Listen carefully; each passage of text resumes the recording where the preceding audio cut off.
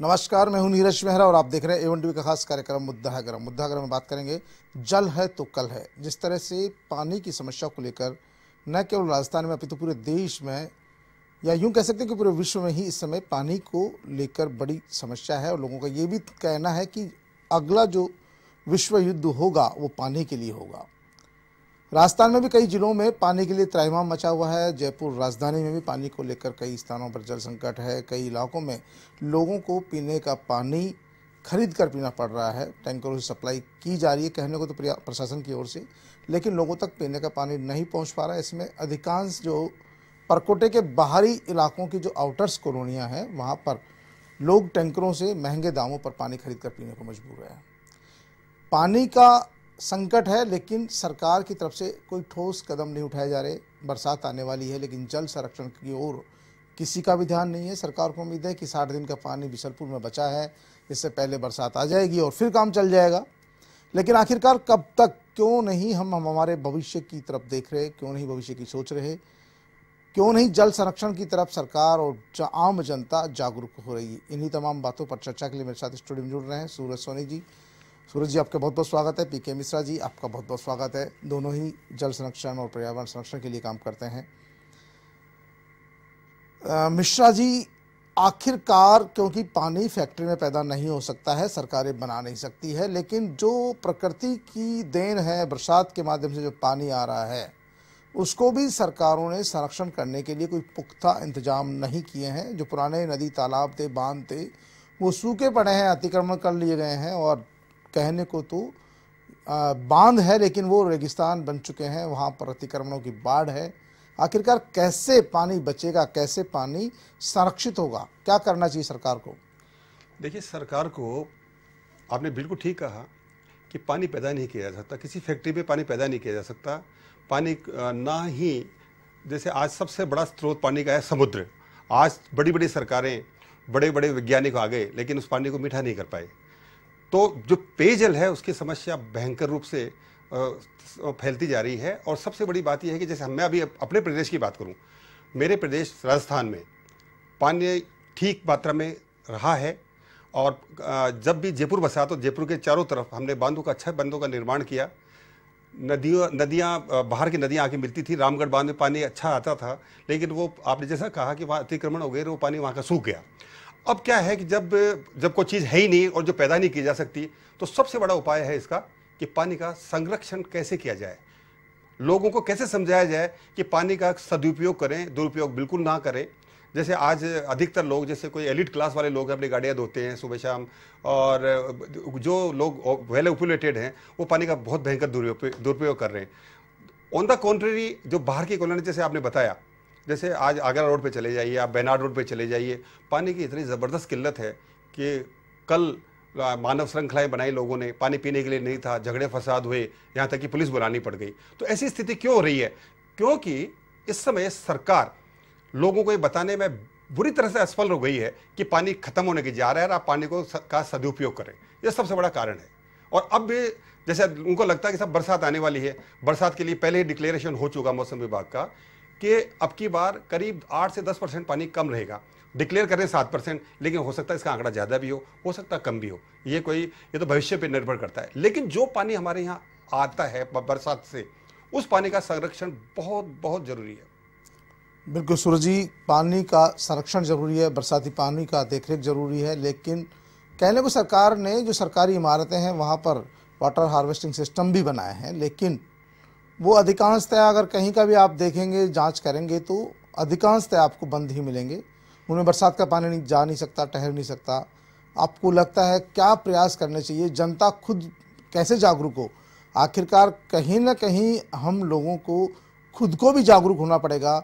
हर काम सरकार के भरोसे नहीं छोड़ा जा सकता, लेकिन सरकार को इस मामले में पहल करनी पड़ेगी। कहीं ना कहीं समझाइश का दौर चलाना पड़ेगा जन जागरण करना पड़ेगा। आपको लगता है इसकी ज़रूरत है? निश्चित तौर पे आवश्यकता तो बहुत ज़रूरी है नीरज जी, आपने सही बताया, बिल्कुल ठीक इशू उठाया आपने। लेकिन मैं ये बताना चाहूँगा कि जनता के हाथ में केवल अवेयरनेस और खुद का पानी बचाने की जो क्षमता है, उसके अलावा विशेष कुछ करने के लिए होता नहीं है। और आपने देखा होगा कि जब हम सुनते हैं रामायण में कि एक गिलेरी जो है, वो जा रही थी जब पुल समुद्र में बन रहा था, उस समय गिलहरी जाकर के मिट्टी में लौटती और समुद्र में आके झटका देती।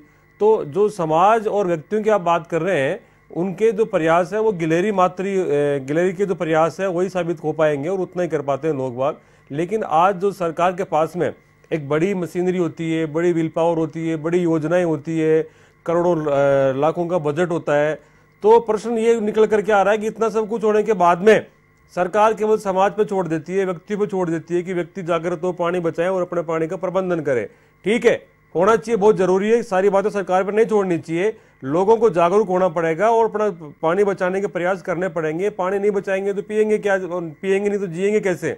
लेकिन आज प्रश्न वही निकल करके आता है कि सरकारों के पास में इतना सब कुछ होने के बाद में प्रयास क्यों नहीं हो रहे? सार्थक प्रयास होने चाहिए और एक गाइडलाइन तय होनी चाहिए। आप देखिए बार बार कैंपेन चलते हैं। जब आवाज़ आती है, मीडिया से आवाज़ आती है और पानी की जो है किल्लत का सामना करना पड़ता है। तो तब निकल करके उन चर्चाओं के बाद में योजनाएँ बनती है और थोड़े दिन बाद में वो योजना ठंडे बस्ते में चले जाती है।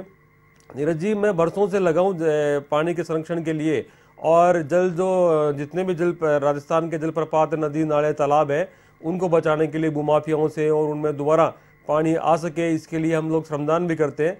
तीन चार दिनों से हम लगातार जयपुर शहर के विभिन्न तालाबों पे और जो जल स्रोत है उन पर जाकर के श्रमदान भी कर रहे हैं। जी आप लेकिन लंबे समय से जुड़े हुए हो लेकिन आपको लगता है क्योंकि रामगढ़ बाँध का भी मैंने देखा है आप उसमें भी लगातार संघर्ष करते रहे हैं। लेकिन अतिक्रमणों के चलते रामगढ़ बाँध में पिछले लंबे समय से पानी नहीं आया है और जो नदियाँ जिन नदियों को अपन देखते आए बचपन में वो नदियाँ बिल्कुल रेत के धोरे बन चुकी है। वहाँ अति वहाँ भी अतिक्रमण हो गए हैं। उन नदियों में पानी आना बंद हो गया है। सारे रास्ते बंद हो गए हैं। बरसात का जल तक उन नदियों में नहीं जा रहा है। तो कहीं ना कहीं जो प्रशासन है, उसको कार्रवाई करनी चाहिए, अतिक्रमण हटाने चाहिए, या फिर वही कोई नए ढाक के तीन पात प्रशासन कार्रवाई के नाम पे करेगा।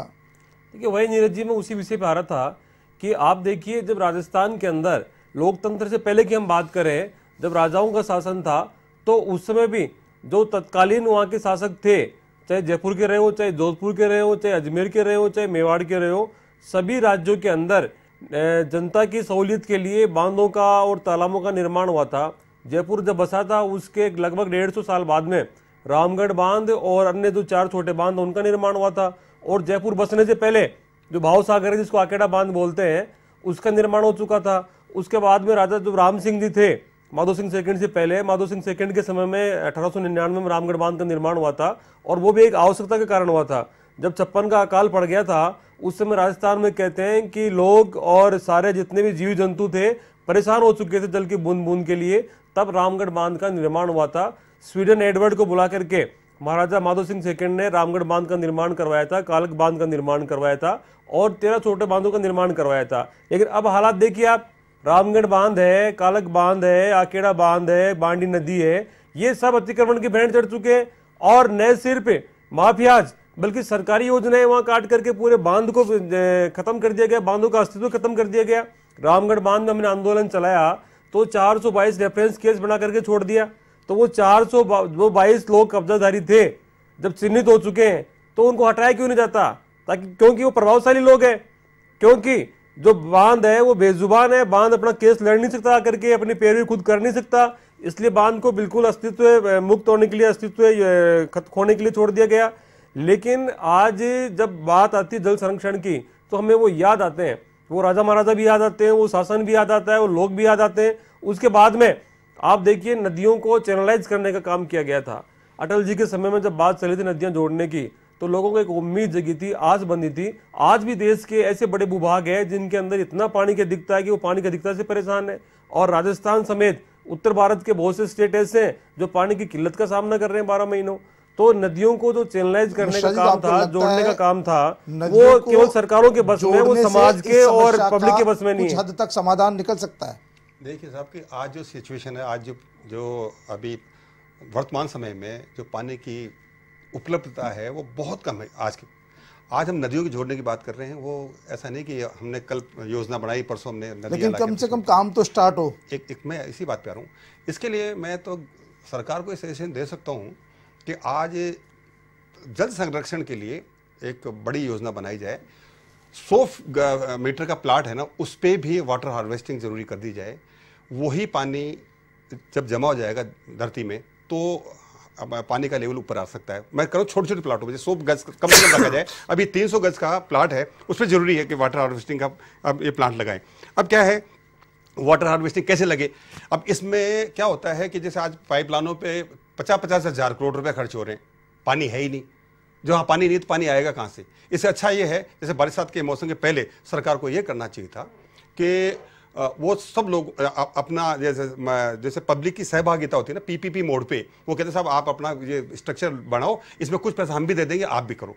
क्या होता है उसमें उसमें क्या हो, पानी अगर हम हमने मान के चलें कि हमने पच्चीस हज़ार लीटर पानी बचा लिया एक मकान ने तो अब हमारा वाटर लेवल ऊपर आ सकता है। लेकिन ये कुछ नहीं करना चाहती गवर्नमेंट गवर्नमेंट सिर्फ़ और सिर्फ़ पाइपलाइनें बिछाना चाहती है। मैं गवर्नमेंट की बुराई नहीं कर रहा हूँ। कोई गवर्नमेंट कोई सी भी हो चाहे बीजेपी हो कांग्रेस हो कोई भी गवर्नमेंट कहीं ना कहीं ज़रूरत भी तो है ज़रूरत है, लेकिन जरूरत- नहीं बिछाएँगे तो लोगों तक पानी नहीं पहुँचा पाएँगे लेकिन- आज लोगों तक पानी कहीं से कहीं कहीं पाइपलाइन से पहुँच तो रहा है और जो आप बता रहे हैं कि प्रत्येक घर में वाटर हार्वेस्टिंग सिस्टम बना भी लिए जाएँगे हाँ, हाँ। तो उससे वाटर लेवल तो ऊपर होगा उस इलाके का हम्म। लेकिन जब हमारे अधिकतर डार्क स्टोन साबित हो चुके हैं घोषित हो चुके हैं हाँ। बड़ी समस्या ये है कि जब नदियों को जोड़ने की बात की जाती है हम्म। क्योंकि अगर उस प्लानिंग पे काम नहीं होगा अटल जी ने योजना बनाई अगर उसके बाद उसका फॉलोअप होता लगातार फॉलोअप होता तो शायद आज उसका फ़ायदा अपने को मिलने की उम्मीद हो जाती। लेकिन उसे फॉलोअप नहीं हुआ।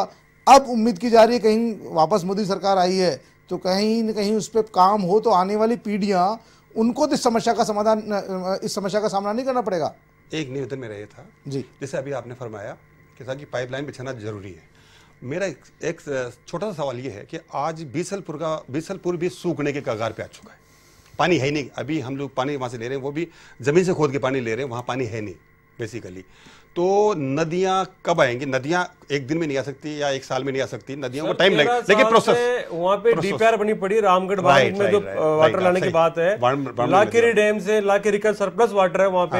हाँ, हर साल पानी इतना अतिरिक्त होता है वहाँ पे उस पानी को रामगढ़ में लाने के लिए एक सौ पैंसठ लिफ्ट कैनाल की योजना तेरह साल से डीपीआर बनी पड़ी है। मुझे सरकारें तीन से गई आकर के। हाँ। हम लगातार मांग कर रहे हैं हम कोर्ट में भी गए पीएम तक भी गए थे। लेकिन उसके बावजूद उसको बिल्कुल ठंडे बस्ते में डाल दिया गया उस योजना को।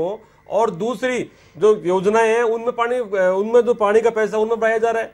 तो मैं ये कि, सरकार सरकार सरकार की मनसा मनसा भी ठीक नहीं है। मंशा ठीक नहीं सरकार की बिल्कुल ठीक नहीं है। तीन सरकारें बदल जाए और डीपीआर बनी हो जबकि वही पैसा अगर डीपीआर के अनुसार उस पर खर्च हो जाता तो शायद रामगढ़ बाँध लबालब होता जयपुर शहर को पानी की समस्या का सामना नहीं करना पड़ता और जो बीसरपुर से पानी आ रहा था वो जयपुर की आउटर्स कॉलोनी में सप्लाई हो जाता। तो अब नीरज जी ऐसा है कि अभी आप देखिए चार पाँच यहाँ भयंकर डार्क जोन हो चुके हैं। जैसे आप जोटवाड़ा में लीजिए जोटवाड़ा में 400 फीट पानी 400 मीटर नीचे पानी चले गया। पूरा खत्म हो गया? वो पूरा खत्म हो चुका। अब क्या पोषण आने वाली इसमें इसके दो जो जो रेप्रिकेशन है वो दो होंगे। जब ज़मीन ही पोली हो जाएगी भूकंप के आसार पानी तो मिलेगा नहीं। दूसरी बात है कि हम लोग जो नलकूपों से पानी सप्लाई कर रहे हैं लोगों को आज वो इतना दूषित है। कोई मिनरल नहीं है उसमें। दूसरी दूसरा सबसे बड़ी है कि आज ये जो पानी इसका है सी स्कीम जैसी बनी पार्क जैसी कॉलोनी जो पॉश कॉलोनी जिनको बोल रहा है उसमें नाइट्रेट की मात्रा बहुत ज़्यादा है। सांगानेर में पूरे आप चले जाइए फ्लोराइड फ्लोराइड है, फ्लोराइड। फ्लोराइड ही फ्लोराइड है। ये जो पानी लेके खुश हो रहे हैं पानी पी रहे हैं कितनी बीमारियाँ से ग्रसित होने वाले हैं। अभी एक एक सर्वे हुआ था सर्वे में ये आया कि अगले पाँच छः साल बाद में हर घर में कैंसर का रोगी होगा।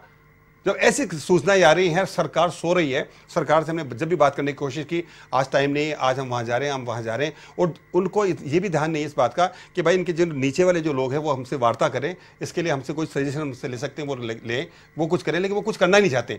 उनको ये लगता है कि बरसात आ गई फिर यार कहीं मामला दब जाएगा। लेकिन अपने पाइप लाइन तो बिछ गई बस वो काम खत्म हुआ। तो पाइपलाइन बिछाओ। लेकिन मेरा निवेदन को दीर्घकालीन योजना की ज़रूरत है। नदियों जोड़ने की जो बात चल रही है या डीपीआर जो बिन बन चुकी है बांधों से अतिक्रमण हटाने की ज़रूरत है, ताकि जो बांधों तक पानी पहुँच सके, जिन जो तालाबों में पानी आता था, उनमें पानी पहुँच सके, नदियों में जो पानी रुका पड़ा है, वो पानी पहुँच सके। लेकिन कहीं ना कहीं सरकारें भी सोचती है कि अभी क्या करना है, वो अभी के हिसाब से योजनाएँ बनाती है, उसको इम्प्लीमेंट करती है, पैसा खर्च करती है, और कहीं ना कहीं जो नुमाइंदे हैं, वो भी उस पैसे में बंदर बांट करते हैं और जनता को क्षणिक लाभ मिल जाता है, लेकिन दीर्घकालीन लाभ के लिए कहीं ना कहीं सरकार को इस तरह की दीर्घकालीन योजनाएँ बनाने की ज़रूरत है। मुद्दा अगर में चर्चा जारी रहेगी, लेकिन मिलते छोटे से ब्रेक के बाद।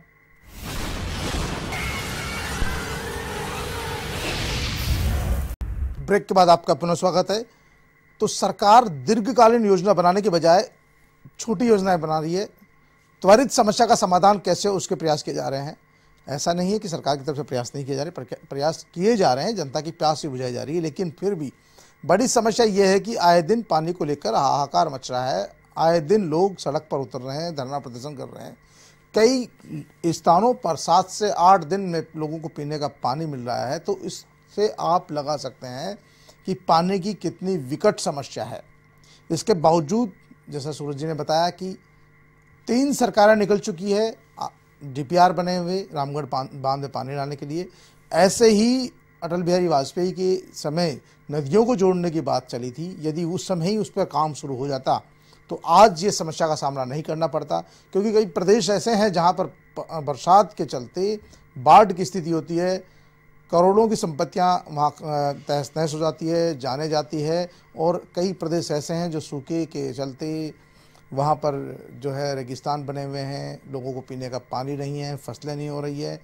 तो कहीं ना कहीं सरकारों को प्रयास तो करना पड़ेगा अपना, ये सोचें कि नहीं, ये कब होगा, कैसे होगा? अगर सब लोग इसी तरह सोचते रहेंगे तो फिर ये लगता है कभी सूरज जी नदियाँ जोड़ने का काम होगा ही नहीं।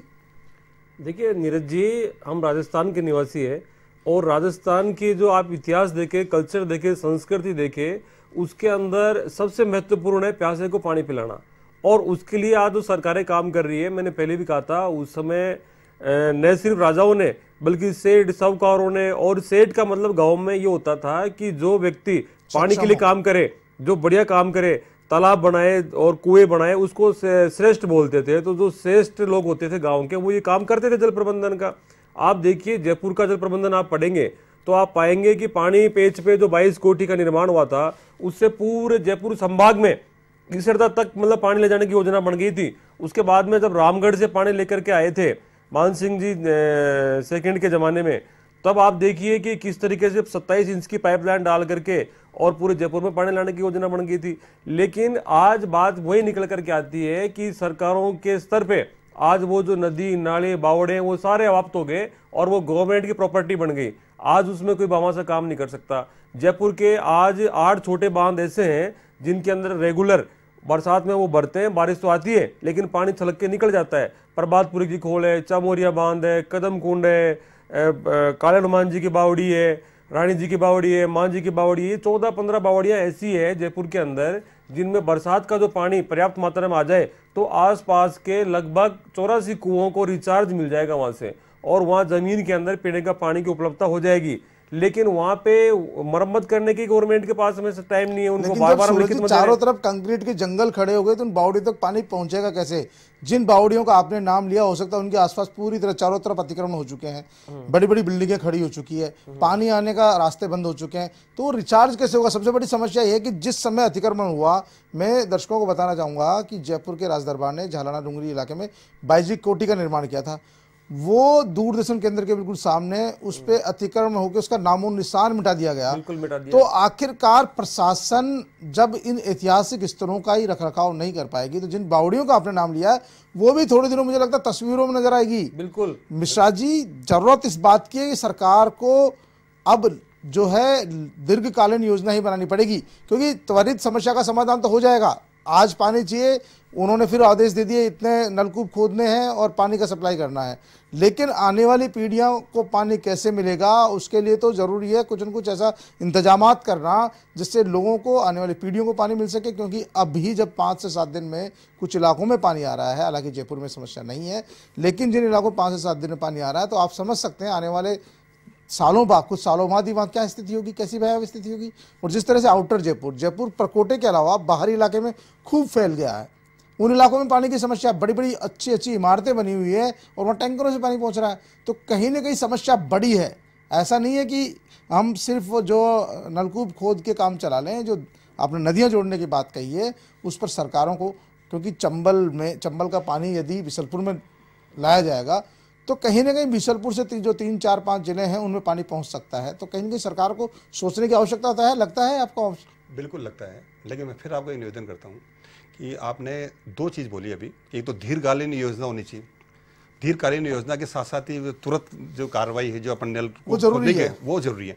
अब मैं आपसे एक निवेदन कर रहा हूँ कि ये देखिए एक सरकार की कितनी बेरुखी है। मैं मैं अंकित करना चाहूँगा इस बात को यहाँ कि जो पानी द्रव्यवती नदी का सप्लाई किया जा रहा है वो बिल्कुल ट्रीटमेंट नहीं हो रहा उसका। अनट्रीटेड पानी लोग पी रहे हैं। निश्चित रूप से बीमार होंगे वो। नहीं वो पानी पीने का कहाँ काम आ रहा है, वो तो हो रहा है हो रहा है। का पानी नहीं दिया जा रहा उसको- उसके पास में जो नल खुद खो, खो, खोदे जा रहे हैं ना भाई जैसे अपने सांगानेर एरिया वगैरह में वहाँ के टैंकरों से वहाँ पानी सप्लाई हो रहा है सर। प्राइवेट लोग कर रहे हैं। प्राइवेट लोग कर रहे हैं वो लोग कर रहे हैं। चार सौ जल माफिया वो जल माफिया जो भी कर रहा है लेकिन वो जो पानी पहुँच रहा है भाई अभी अब एक ड्रग बेचता है कोई आदमी तो ड्रग माफिया तो है, लेकिन समाज को नुकसान तो पहुँच रहा है ना उससे। तो ये मैं आपको निवेदन ये करना चाहता हूँ कि आज जो अपने शॉर्ट टर्म की बात कर रहे हैं शॉर्ट टर्म ये है कि एक तो भगवान करे, बरसात बहुत अच्छी आ जाए। इन केस बरसात अच्छी नहीं आती तो आज ये मान के चलें कि साहब कि ये जून, अगला जून आने वाला है तो हमें क्या करना है कि छोटे छोटे प्लांट्स हैं ना, इन पे पीपीपी मोड पे हमें वाटर हार्वेस्टिंग का प्लांट लगाने ही पड़ेंगे वाटर हार्वेस्टिंग के सिस्टम्स लगाने पड़ेंगे, वरना ये क्वेश्चन आ जाएगी, साहब, अगले साल अगर अच्छी अच्छा पानी नहीं है आपकी बार तो क्या होगा कितना भयावह स्थिति आ जाएगी कोई कल्पना से बाहर है अब कुछ जगह पानी आ जाएगा लेकिन जैसे आज की समस्या जैसे अभी आगरा रोड है मुझे आपको लगता है आवश्यकता है छोटे छोटे प्लॉट्स पे भी इस तरह का वाटर हार्वेस्टिंग करने की? बिल्कुल बिल्कुल। देखिए आवश्यकता तो बिल्कुल है और सरकार ने बायोलॉज कर भी रखे हैं लेकिन उनकी कड़ाई से पालना हो और कानून का पालन हो लोगों की अवेयरनेस बढ़े और लोगों को इस बात को जागृत हो। इस बार मैं समझता हूँ कि हर देखो नकारात्मक चीज़ में से पॉजिटिव चीज़ निकलती है। जो पानी की किल्लत अब की बार आ रही है लोगों को ये टैंकर की पे आश्रित थे और टैंकर 200-300 रुपए का आता था। अब वो जब टैंकर जयपुर के आउटर में पिछले 10 दिनों से 600-700 रुपए का टैंकर लोग ले रहे हैं और उसके लिए भी लड़ रहे हैं। अखबार में है। तो एक हज़ार रुपए हाँ तो देखता मंजिल मैं। के हिसाब से तो मैं समझता हूँ कि लोग पानी के महत्व को समझ पाएँगे और जो व्यक्ति व्यर्थ पानी को बहा रहे हैं नालियों में पानी को बहा रहे हैं मैंने कई जगह देखा है जयपुर शहर के अंदर और इस बात को लेकर हमने उलाना भी दिया है लेकिन लोग जागृत नहीं होते हैं। आप मोटर चला के भूल जाते हैं, टंकियों से पानी निकल के बह रहा है। आप घरों के अंदर नलों को खुला छोड़ देते हैं और रात भर सड़कों पर पानी बहता रहता है। तो इस तरह के जो हालात हैं तो जल को हम किस कीमत में नहीं आंक सकते आज एक टैंकर हम ज़रूर ले रहे हैं, मान लो पाँच सौ का, हज़ार रुपये का, लेकिन वो उसकी कीमत नहीं है। पानी की तो एक बूंद ही अनमोल है और ये बूंद ही जीवन देने के लिए पर्याप्त होती है और पानी का महत्व है। जंगलों में आप जाकर के देखिए, आज जो हमारे वन्य जीव है, जो अपनी ज़िंदगी से हाथ धो रहे हैं, अभी टाइगर मरा था, उसके पेट में पानी नहीं था। आए दिन पैंथर मर रहे हैं, बघेरे मर रहे हैं, मोर मर रहे हैं तो वो जंगल के अंदर इतनी किल्लत हो गई है, पानी की एक बूंद नहीं मिल रही है। शहरों के अंदर हमको पैसे से उपलब्ध हो रहा है जल। तो वो जो जिन लोगों को पानी नहीं मिल रहा है, गाँव में भी, आप देखिए चूरू, बाड़मेर, बीकानेर, आज भी ऐसा क्षेत्र है वहाँ पे। तब लोग जो है पीने के पानी को तीन स्तर करते हैं वहाँ पे। पहले आदमी जो है पानी पीता है, फिर जब नहाने के लिए चारपाई के ऊपर पानी बैठ के नहाते हैं लोग बाग, नीचे कुंडे लगाते हैं, उससे जो है वो कपड़े धोने के काम में लेते हैं। तो पानी का महत्व लोगों को समझना पड़ेगा। हम महानगर में बैठे हैं शहरों में बैठे हैं हमको उपलब्धता है पैसे से लेकिन इसका मतलब ये नहीं है कि उपलब्धता ज़िंदगी भर रहेगी कब तक रहेगी? आने वाली पीढ़ियों को हम शहर जहर दे करके जा रहे हैं। शहरों में लोगों में इतनी जागरूकता नहीं है और पानी का दुरुपयोग भरपूर करते हैं। फिर मैं इस पे और हूँ और लोग उसका जितना उनको लगता है कि जितना पानी का उपयोग करें जितना नहाने में ढोला गिराया जाए बिखेरा जाए वो उतना करते हैं। उनको बिल्कुल इस बात से कोई लेना देना नहीं है कि दूर दराज के गाँव में बैठे हुए व्यक्ति को एक मटका पानी भरने के लिए कितना परेशान होना पड़ रहा है। वो दस मटके दस बाल्टियाँ नहाने में खर्च कर देते हैं। जी बिल्कुल सही करें आप। और ये ये आपने बहुत सही कहा कि यहाँ के जो ओपुलेंट लोग हैं जो धनाढ़ लोग हैं उन्हें बिल्कुल पानी की चिंता नहीं है ना वो इसमें चिंता करने की कोशिश करते हैं। मैंने अभी कुछ दिनों पहले एक मीटिंग में बोला था कि यहाँ के अभी जो, यहाँ इस विभाग के मंत्री हैं या यहाँ के जो ऑफिसर्स हैं, वो बिस्तरी पानी से सब काम कर सकते हैं वो। और इतना पैसा है उन लोगों के पास में। वो सब काम कर सकते हैं बिस्तरे का पानी ले ले करके।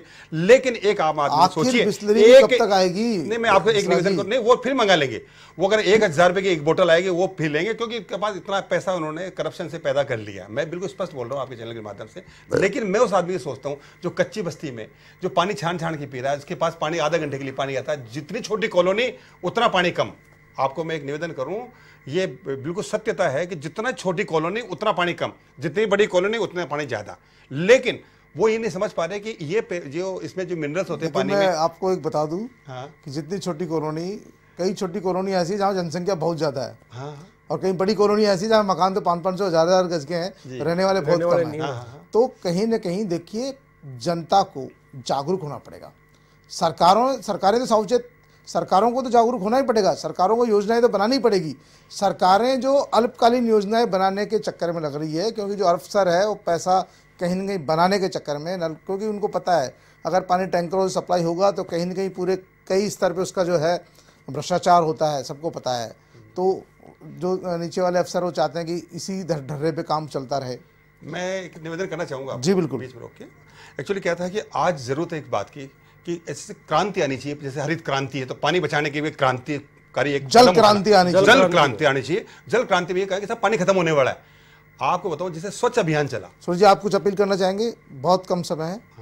देखिए मैं समाज से यही कहना चाहूँगा कि जल बचाए बिना हमारा कल संभव ही नहीं है। और आप एक उदाहरण छोटा सा मैं यहाँ पे दूँगा राजा परीक्षित का। अर्जुन के पौत्र समय थे। बहुत कम है अर्जुन के पौत्र थे और वो केवल पानी की बूंद के लिए त्रस्त होकर के कलयुग को आमंत्रण दे बैठे थे। तो वैसे ही आज हम अगर जल का दुरुपयोग करेंगे जल को व्यर्थ पाएँगे नालियों में भेजेंगे तो आने वाले कल के लिए हम जहर दे के जा रहे हैं हमारी पीढ़ियों को। और जल का उत्पाद संभव ही नहीं है। जल का उत्पाद केवल जल को बचाने से संभव है तो हमको जल बचाना चाहिए। बिल्कुल धन्यवाद सूरज जी। और मिश्रा जी आपने दोनों ने बताया कि किस तरह से पानी को बचाने की ज़रूरत है। जल जो है किसी फैक्ट्री में कारखाने में पैदा नहीं हो सकता। जल बरसात से ही आता है और कहीं ना कहीं हमारी जागरूकता इस जल को बचा सकती जो हमारा कल बना सकती है, वरना तो आने वाली नस्लें हमें जो है माफ़ नहीं करेगी। और सरकारों को भी चाहिए कि वो अल्पकालीन योजनाओं की जगह दीर्घकालीन योजनाएँ बनाए, जनता को जागरूक करें ताकि जल बच सके। मुद्दागर में आज के लिए इतना ही, ताज़ा तरीन खबरों के लिए देखते रहिए ए वन टीवी